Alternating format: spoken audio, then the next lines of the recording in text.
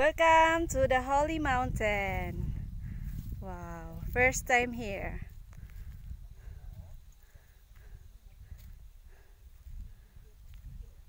Peaceful kay diring dapita.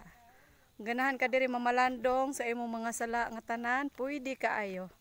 Peaceful kaayo og diha makita nimo sa iyang palibot.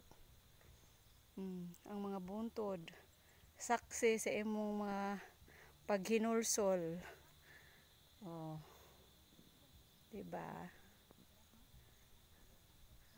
Ang buntod.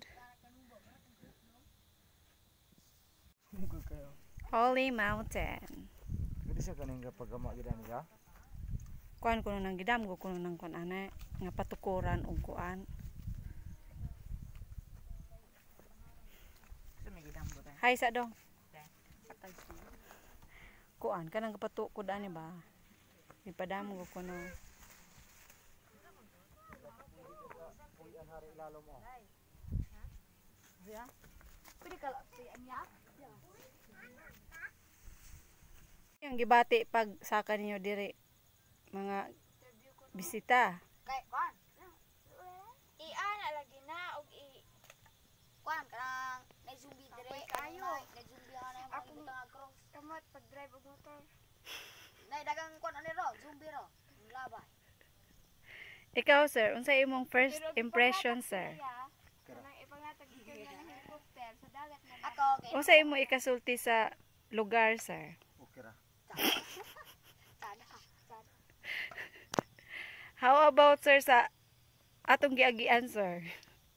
Speechless gyud ko. Igo-igo ra gyud ginhawa. Ako wala. Kapalkato. Kumusta man pud ning imong mga pasahero sir? Sakit kay kunta el samad. Okay kay ra pod. Samad ko. Ikaw budok. Pagmas kay di ko bet. Ikaw dai. Sa imong gi bisi gi suri-suri ano imong asyenda dai? Agatik to yung ko kay nanta kog na nga dalan. Ah, Sa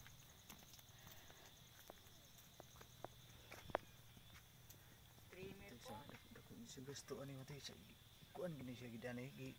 ay siya. Mm. Alan. Among giagian. Going to pabalik pa uli na me.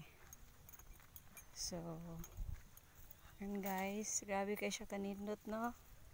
So, kung ganahan mo mo diri sa among isla sa Sikihor, oh, try to visit the Holy Mountain located at ah, Talingting. Siya. Yan.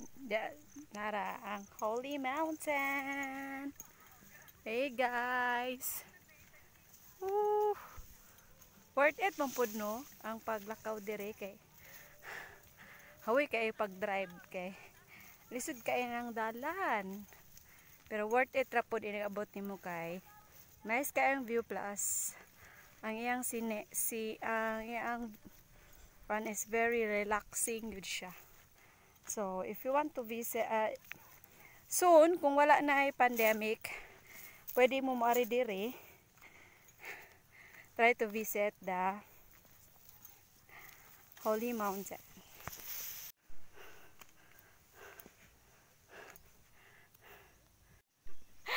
Pasagdahi gud pula man ta kay. Woo! You know,